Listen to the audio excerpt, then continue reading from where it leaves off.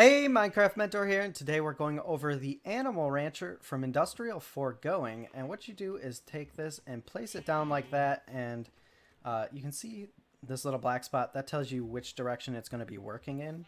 So if we look at this machine, we can turn on our working area, and that's going to show you this one block in front of it, and we can upgrade that in a minute. But first, uh, this one collects fluids and it can also collect items from passive mobs, so it can actually shear your sheep and milk your cows for you.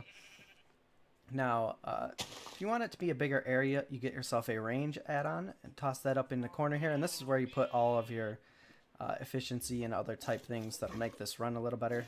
As you can see, uh, we did the range add-on, and it's filling up with milk actually pretty quick now. And uh, as you can tell, every time this drops down to the bottom, that's when it completes its action. And you can see it's shearing the sheep now. So uh, next, to export items, you just come to your output, and you can tell orange, it's all color coordinated.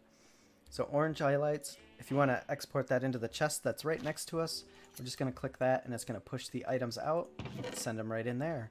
We also do need to power this. I'm using a pitiful generator to do it. And uh, that's pretty much it for that one. I mean, fluids is the same thing. You just send the fluids out.